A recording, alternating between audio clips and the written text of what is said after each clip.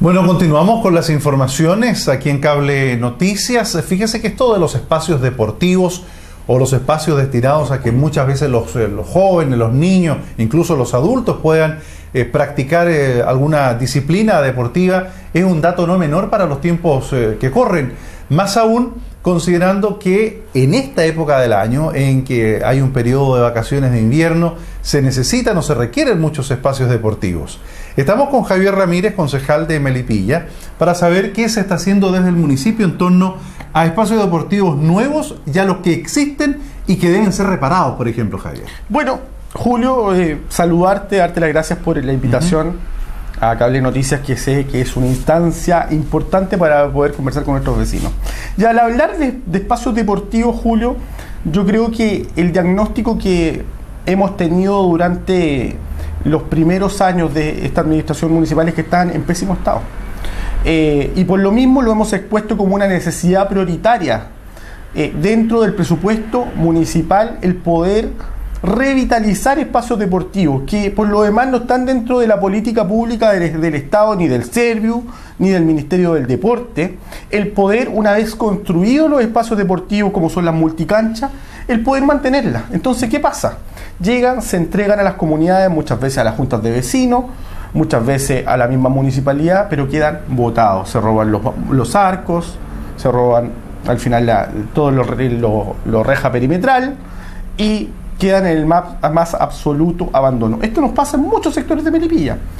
En la población Padre de Demetrio, nos pasa en la población Los Lagos, nos pasa en sectores del sector norponiente donde hay muchas multicanchas que están destruidas y los vecinos así lo saben y lo han hecho ver. Por lo mismo, hemos tocado las campanas al interior del Consejo Municipal para poder privilegiar dentro del presupuesto municipal, que no es un gran presupuesto, pero sí podamos ejecutar obras con presupuesto propio. Se ha decidido el guardar a lo menos 200 millones de pesos de presupuesto propio para poder ir a revitalizar esos espacios deportivos, que va a ser por lo menos cinco urbanos y cinco rurales que ya han sido conversados al interior del Consejo Municipal, va a venir a mejorar un tanto estos espacios deportivos que están destrozados y que lamentablemente hoy día están en el más absoluto abandono. Y lo que también hemos pedido al interior del Consejo Municipal para que la administración también cambie un poco el switch es que no sacamos nada, Julio, con construir espacios deportivos, pintarlos de verde como le gusta al alcalde y dejarlos votados Acá necesitamos una política pública deportiva que acompañe a hacer deporte a nuestros vecinos. Y ojalá la oficina del deporte se coloque las pilas en este sentido y no solamente nos pongamos a regalar camisetas, pelotas o demás antes de la elección, sino que tengamos la posibilidad de hacer una estructura de deporte para que los vecinos de cada uno de sus villas, en cada una de sus poblaciones, pueda darle vitalidad. Ojalá competencias dentro de los mismos espacios entre las juntas de vecinos. Entiendo que Carabineros también está haciendo una muy, muy grande labor dentro en este sentido. Ya estuvimos asistiendo hace menos de una semana a, un campeonato que se estaba desarrollando en el parque, eh, en el parque de la población Padre Demetrio, el parque Bruce eh, y esto es parte de la política deportiva que hay que generar en, torno a estos espacios que deben ser revitalizados. Una buena noticia que aprovecho de contarle también a nuestros vecinos es que hace no más de una semana aprobamos dentro del Consejo Municipal la licitación de la revitalización de la cancha de los poetas que es una cancha que estaba absolutamente botada, Julio, que lamentablemente estaba sirviendo de espacio de inseguridad para los vecinos, donde se juntaban pandillas, donde lamentablemente se eh, prestaba para comisión de delitos. El poder revitalizar estos espacios nos ayuda a la seguridad pública, a la sensación de seguridad pública, nos ayudan a la vida en comunidad. Por eso es importante poder avanzar en poder regenerar estos espacios que lamentablemente están destrozados. Ah, yo creo que el generar deporte, deporte, deporte nos ayuda mucho, no solo en calidad de vida, en convivencia de la comunidad, sino que también en avanzar a los temas de inseguridad que hoy día se sienten en muchos barrios.